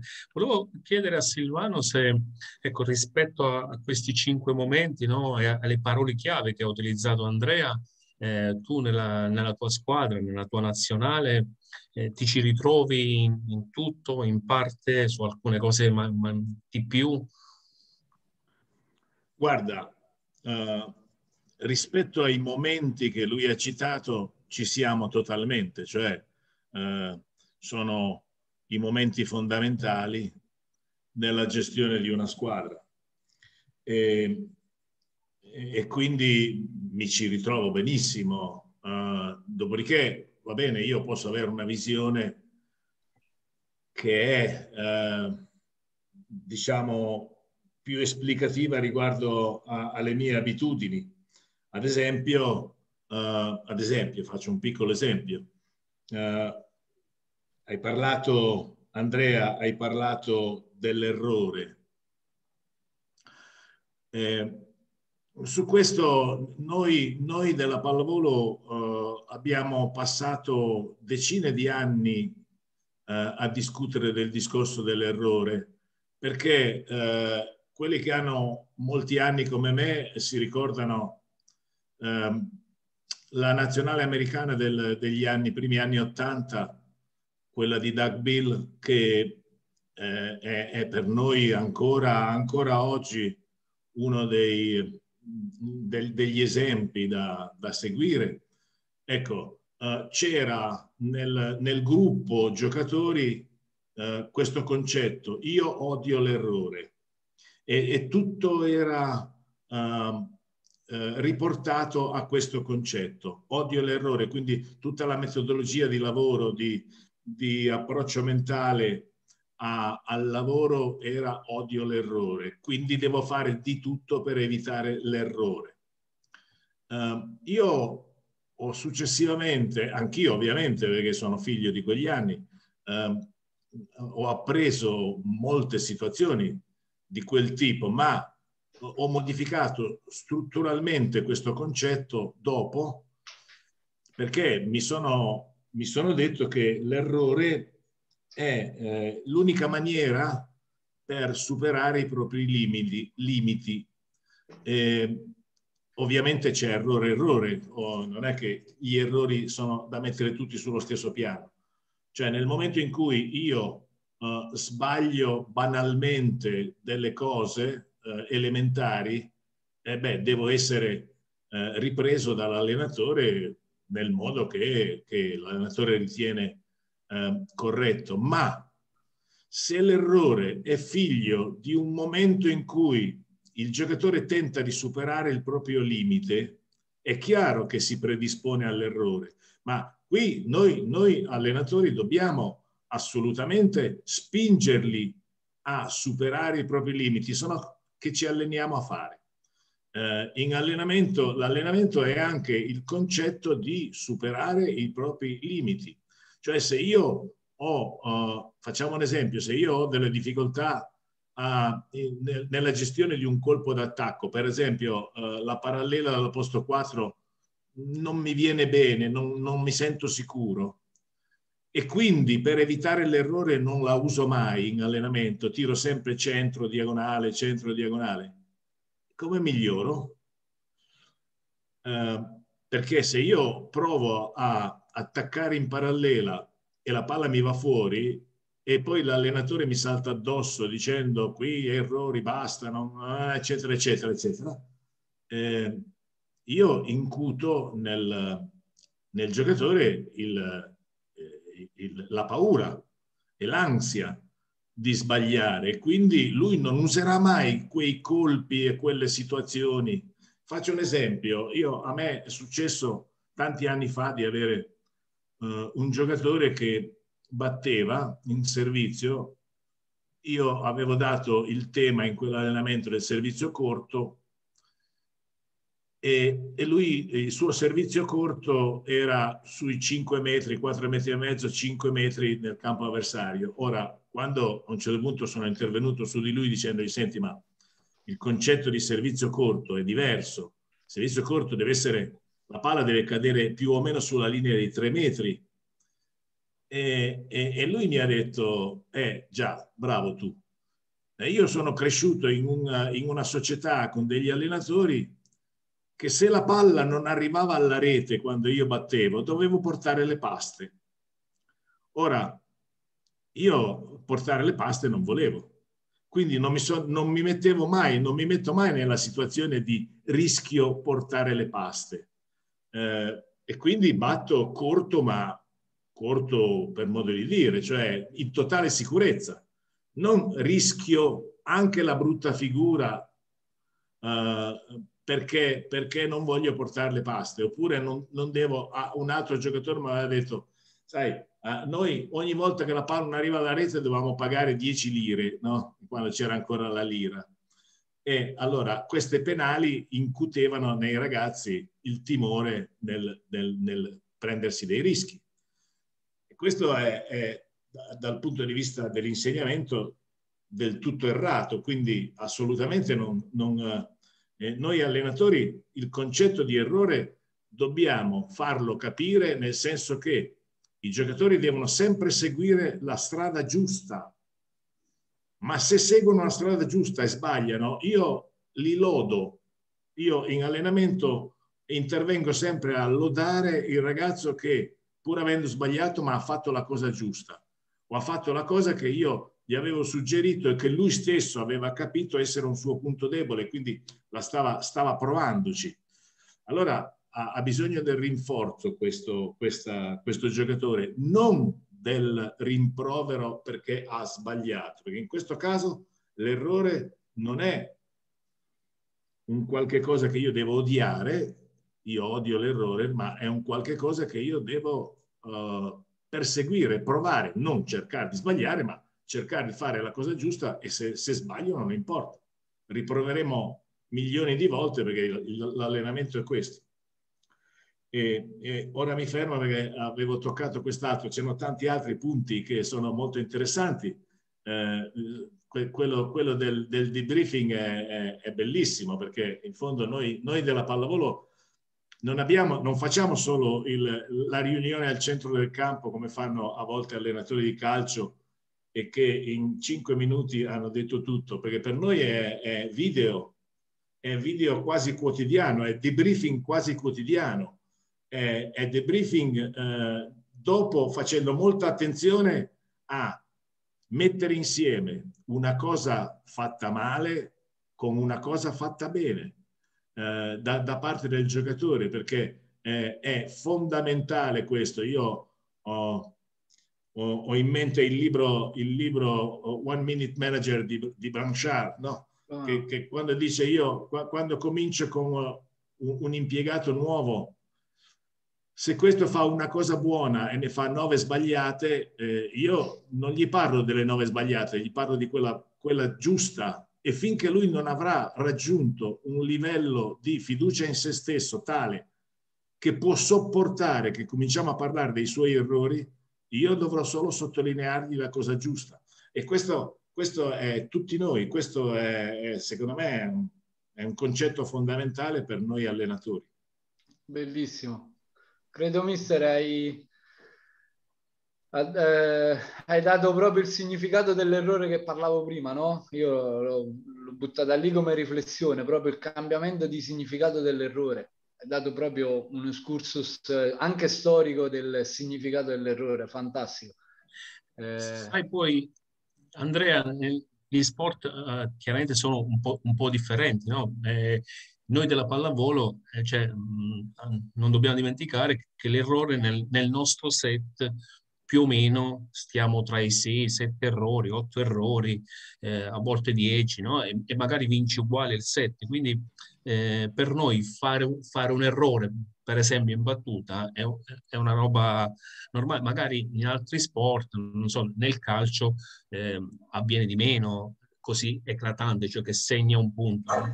E quindi, mh, mm, quindi credo che da questa riflessione qui su, sull'errore, perché è, è, importante quello che ha detto Silvano, che siamo passati in un momento dove eh, condannavamo l'errore, odiavamo l'errore, quindi tutta la ricerca di meno errori. Adesso forse è un momento dove, eh, vabbè, però sai, l'errore è uno strumento di apprendimento, quindi va bene tutto. È molto bella la riflessione dell'equilibrio, no? del, anche del contestualizzare le cose, come, come stavi dicendo tu. Volevo anche sentire se Maurizio c'è ancora. Ci sei Maurizio? No. Invece c'è Franco che ha una domanda pronta, mi sembra. Io avevo una domanda ehm, sulla comunicazione con lo staff. Cioè, se ci puoi parlare e la differenza no, tra eh, comunicazione con i giocatori e con lo staff e con eh, tutta la truppa. Eh. Perché vedo, io ho molti giovani allenatori che hanno lavorato con me, qualcuno è contento, qualcuno si lamenta, non mi dice niente, non mi coinvolge, mi coinvolge tanto. Eh, volevo sentire il tuo punto di vista su questa cosa. Bella anche questa. Eh, allora, io oh, quando mi fanno queste domande, soprattutto se mettiamo due esperienze diverse, no? Eh, che può essere il responsabile tecnico che gestisce una, eh, un numero di, di, allenatori all'interno della, passatemi, la scuola calcio da, da, parte mia, e poi può essere la differenza tra un mister che ha um, con sé uno staff, che sia un, il secondo allenatore e basta, sia il preparatore, sia il fisioterapista, tutto quello che possiamo pensare. Come dicevo, la cosa importantissima è che comunque il mister abbia un attimino, abbia le basi su tutti gli ambiti di interesse dello sport. E poi quello che forse può essere eh, importante, eh, io le considero le tre C, no? che si chiama comunicazione comunicazione costruttiva circolare, dove all'interno di questa comunicazione, in queste tre C, deve esserci innanzitutto il confronto. E se noi non abbiamo l'osservazione e l'ascolto attivo, diviene difficile la, la, la, eh, il confronto. Perché la prima cosa che facciamo è, ok, io la penso così, tu non sei nessuno e devi fare quello che dico io. Quell'altro ti dirà, ok, no, ma così, no, ma colì, ma colì. Tu non lo stai proprio ad ascoltare. Se non c'è un ascolto anche empatico di questo, un ascolto attivo, diviene difficile il confronto. Poi c'è un'altra caratteristica in, questa, in queste 3C, è la responsabilità. Cioè io ho una responsabilità che è quella di direttore responsabile tecnico, direttore tecnico, eh, di mister, che comunque l'allenatore è il fulcro, è la figura di riferimento di tutta la squadra. Quindi se c'è, se c'è il confronto, c'è, c'è la comunicazione, c'è il rispetto, il miss, c'è l'esempio da parte della, dell'allenatore. Quindi qui andremo anche in vari concetti della leadership. Se l'allenatore non dà l'esempio, come possiamo pretendere che il nostro secondo segue dei valori condivisi, degli obiettivi condivisi? Se io sto continuamente a delegare tutto aspettando che sbagli per rimproverarlo e, e dirgli che non capisce nulla. Poi non possiamo pretendere che il, la, l'allenatore in secondo, tutto lo staff ci segua con tutto questo interesse e questo coinvolgimento. E poi dargli anche quella, quella fiducia nella, nella, gestione dei compiti, nella gestione del, dell'allenamento, alcune volte metterlo alla prova, chiedergli anche qualcosa di quello che ha osservato lui, perché non significa che noi siamo i capi e che riusciamo a vedere e ad ascoltare e a capire tutto. Alcune volte l'allenatore in seconda ci permette di vedere quella cosa, quella situazione che noi non riusciamo a vedere e quindi lo stiamo coinvolgendo.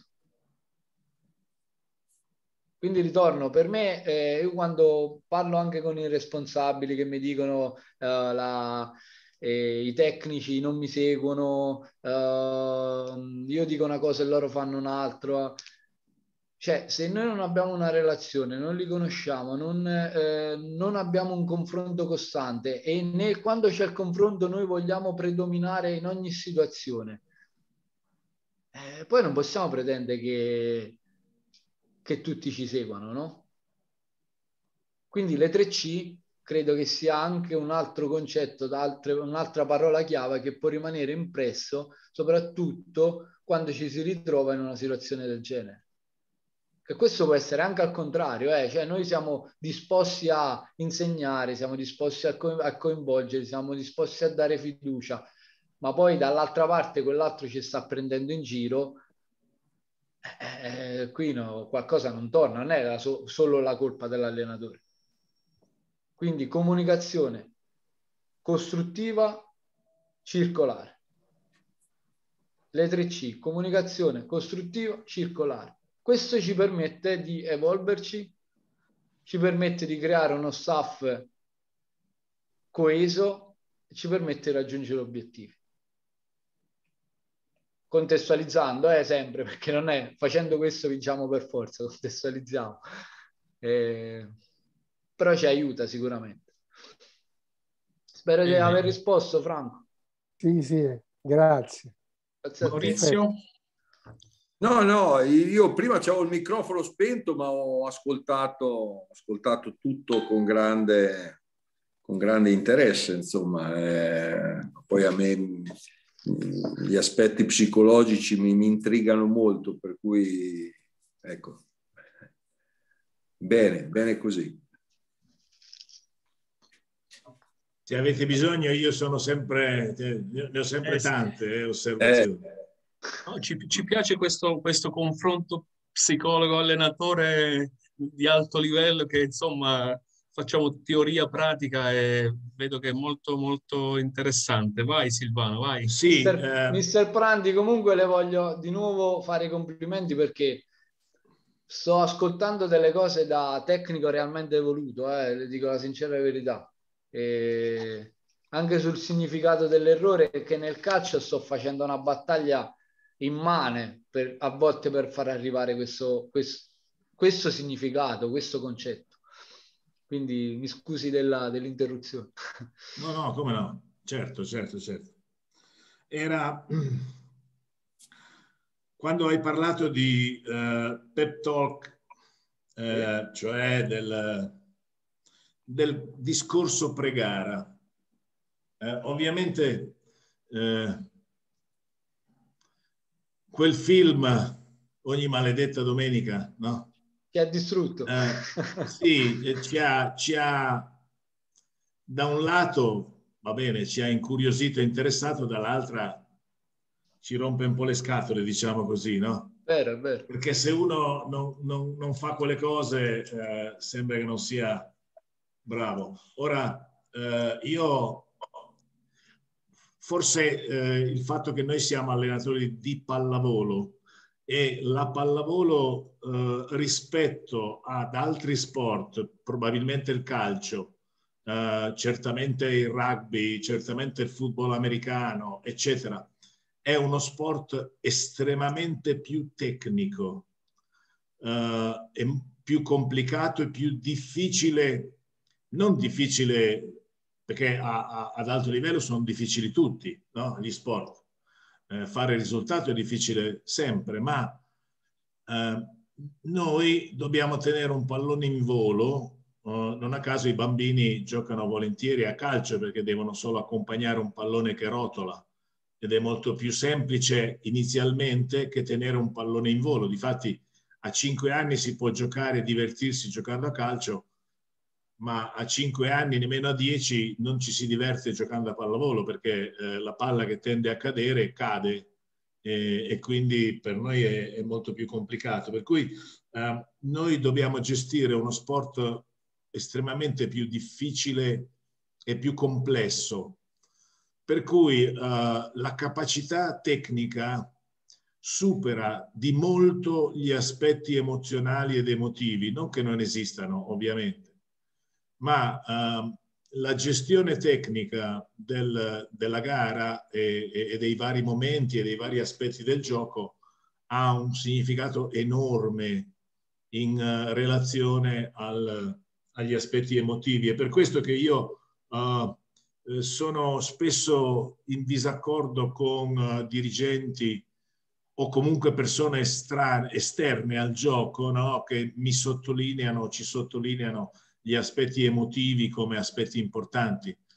Uh, mentre gli aspetti emotivi possono esserci in alcuni momenti, ci sono sicuramente, ma uh, c'è un dominio totale della gestione tecnica della gara. Quindi eh, per noi il discorso pre-gara, secondo me, deve essere quasi sempre e quasi esclusivamente dedicato a ricordare pochi punti tecnici importanti, cioè l'indirizzo del servizio, eh, i, i, punti deboli avversari o comunque dove, dove il servizio va, va indirizzato di più, eh, il, alcuni aspetti del muro sugli attacchi avversari, eccetera, no? ma pochi concetti eh, che, che, che, che devono dominare il nostro pre-gara e anche il nostro durante la gara, perché in fondo eh, durante la gara eh, la maggior parte degli interventi che dobbiamo fare sono consigli tecnici.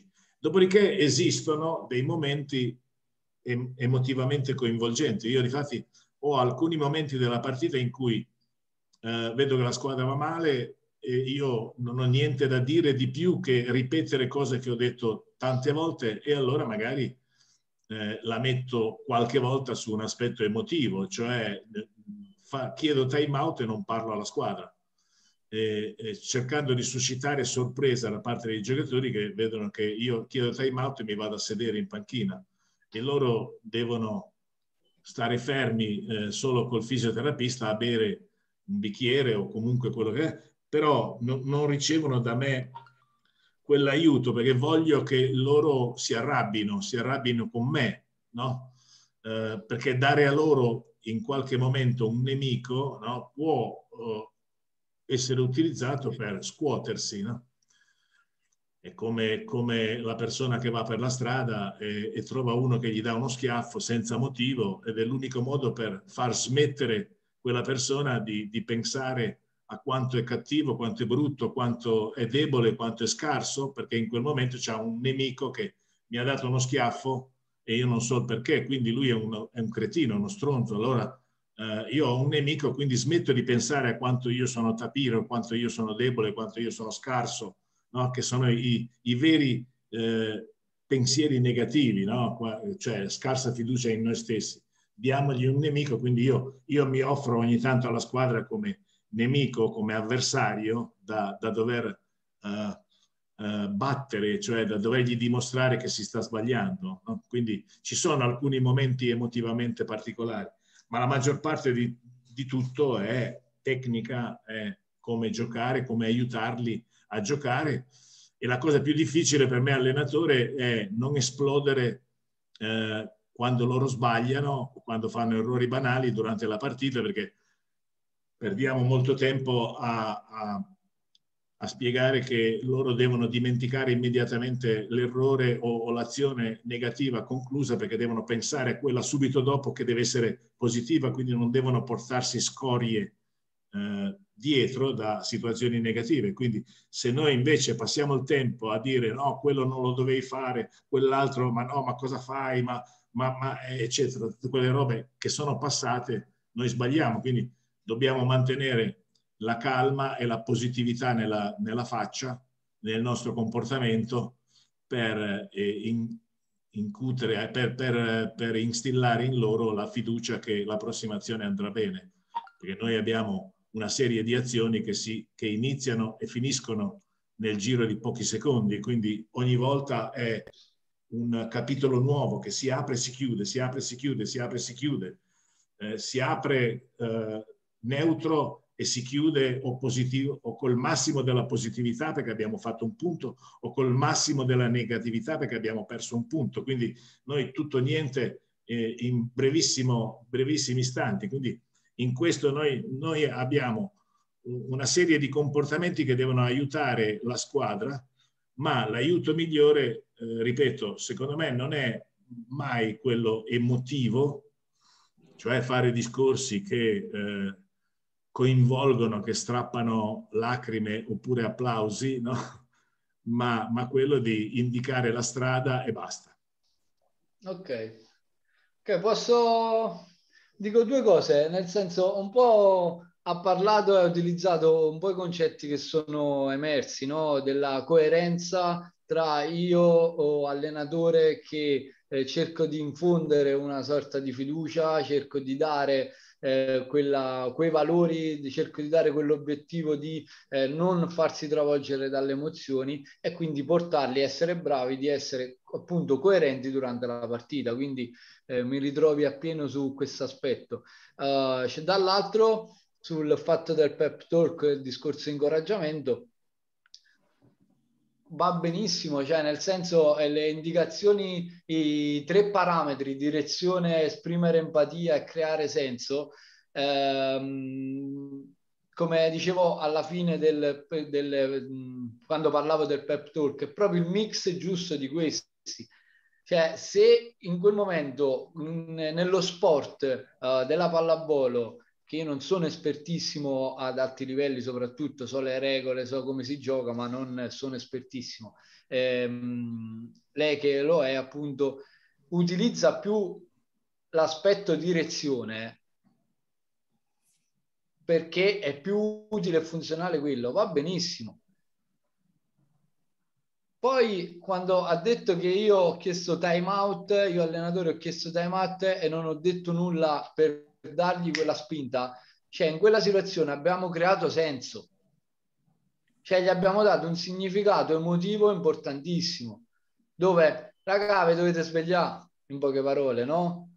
Quella sì. rabbia per affrontare la, il set, la, il turno successivo, ma non so, per, eh, con quella rabbia giusta. Quindi in quel momento serviva dare l'emozione. Quindi la bravura, ritorno a dire, la bravura contestualizzando tutti gli episodi, tutte le situazioni, è proprio quella di riuscire a utilizzare uno strumento rispetto a un altro, un modo rispetto a un altro, ma essere consapevoli di quello che sto facendo è la marcia in più. Perché alcune volte non, non sappiamo neanche il nome. Cioè, facciamo una cosa senza sapere, senza il perché. Cioè, alcune volte, eh, qua forse ritorno, ehm, chiudo, fa, sono brevissimo su questo. Quando parliamo di esempio ci stanno allenamenti eh, soprattutto nei ragazzi delle, sulle funzioni esecutive. Stanno allenamenti che noi parliamo esclusivamente di funzioni eh, di, eh, si fanno sempre allenamenti sulle funzioni esecutive però la maggior parte degli allenatori che non conosce non è consapevole di quello che sta allenando cognitivamente non dà quella marcia in più se io sono consapevole che in quell'esercizio, in quel gioco, sto allenando anche alcuni tratti cognitivi perché si evidenziano determinati aspetti, possono essere ancora più funzionali per i ragazzi. Quindi ritornando al concetto uh, suo, lei è consapevole di quello che sta facendo, è consapevole di, delle, eh, delle situazioni che mette in atto utilizzato, ok, direzione, pre-allenamento, cioè pre-gara, concetto di direzione, per mm. poi durante la gara, perché comunque ci stanno degli intervalli, si può fare il time out, ha utilizzato il creare senso. Cioè, io ho utilizzato in momenti che pre-gara e post-gara e non c'è, ad esempio, il, eh, tra primo e secondo tempo, però cadono gli stessi concetti a voi il time out, cadono gli stessi concetti. È utile in quel momento dare l'emotività, è utile dare la direzione, è utile creare senso? Qual è più utile in questi casi? Come li mixo? È qui che facciamo realmente la differenza. Grazie ancora della, dell'esperienza perché Andrea, posso... sto crescendo tantissimo su questa esperienza. Posso rubarti due minuti? eh, hai accennato alle funzioni esecutive, che so voi nel calcio eh, ne parlate e ne utilizzate molto. Noi nella pallavolo lo stiamo, almeno io personalmente, lo stiamo cominciando a sentire, no? Ci, ci specifici, ci, ci dici qualcosa in più su mh, mm, il significato, cioè che cosa, cosa intendiamo per l'allenamento delle funzioni esecutive? Allora, quando parliamo di funzioni esecutive parliamo a tutte quelle funzioni eh, giovani, quelle funzioni che fanno riferimento alla parte prefrontale del cervello, no? E quindi parliamo di inibizione, parliamo di eh, flessibilità cognitiva, parliamo di memoria di lavoro, parliamo di attenzione, ehm, parliamo di eh, allerta, eh, cioè tutti, tutte queste funzioni permettono di, infatti eh, sta diventando in voga, si sta parlando tantissimo delle funzioni esecutive, soprattutto nel calcio, perché quei pochi studi, quelle poche ricerche che sono state fatte nell'arco degli ultimi 4-5 anni, se non sbaglio, hanno evidenziato proprio una caratteristica, una differenza tra gli atleti professionisti e atleti non professionisti. Proprio su, la maggior parte proprio su queste, su queste funzioni. Perché queste funzioni, le funzioni esecutive, permettono di organizzare e programmare la, il, il nostro cervello in poche parole. Quindi permettono di utilizzare un qualcosa rispetto ad un'altra nella maniera più veloce possibile. La faccio proprio in breve eh, per non stare qui a parlare.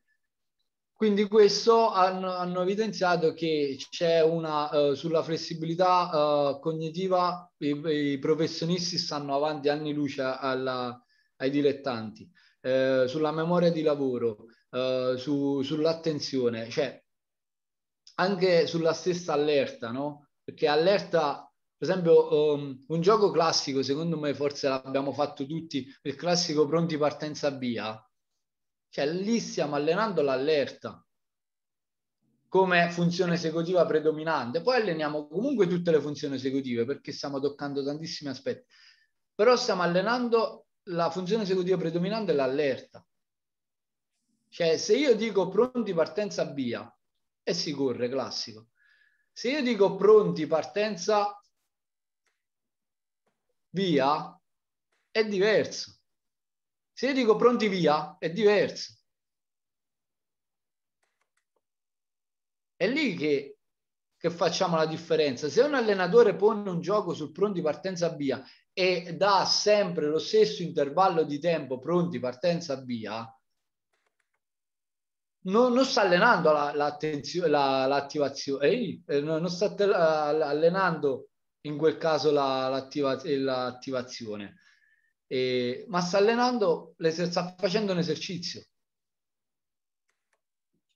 Se ha la consapevolezza di quello che sta facendo, va a allenare anche la, tutto l'aspetto di attivazione, va a allenare le funzioni esecutive. Per questo ritorno a dire, se noi abbiamo la consapevolezza di quello che stiamo facendo e del perché lo stiamo facendo, diventa un aspetto importantissimo. Che io dico sempre, quando vado a vedere anche gli altri mister nel, nelle altre società, a me non interessa tanto come sta conducendo l'allenamento o come sta facendo l'allenamento. A me mi interessa il perché lo sta facendo. Perché può fare un allenamento il più brutto oh, possibile, di non allenerei mai così, per dire. Ma noi non sappiamo il perché ha proposto quel tipo di allenamento in quel momento. Non sappiamo perché eh, in quel momento, secondo il mister, aveva la, la, l'esigenza di allenare determinati aspetti. E qui ritorniamo al confronto. Se c'è poi c'è confronto e vediamo una non competenza, una non consapevolezza di quello che stava facendo, eh, beh, è tutto un altro discorso. Ma se vediamo un, perché significativo, eh, può esserci un confronto importante tra noi e l'altro mister. Che noi la prima cosa che facciamo è guardiamo l'allenamento, mamma mia, è inguardabile, io non allenerei mai così ma sappiamo il perché sta facendo quel tipo di allenamento. Poi siamo andati quel giorno. Non sappiamo se altri giorni lavora in quel, in quel modo o in un altro modo. E ritorniamo al concetto di assenza di giudizio. Quindi vedete che un po' i concetti ritornano, no? E se noi siamo consapevoli di questi concetti, cresciamo, miglioriamo, ci evolviamo. Grazie Andrea. Eh, insomma, siamo andati anche abbastanza lunghi, ma è stata una serata molto, molto piacevole.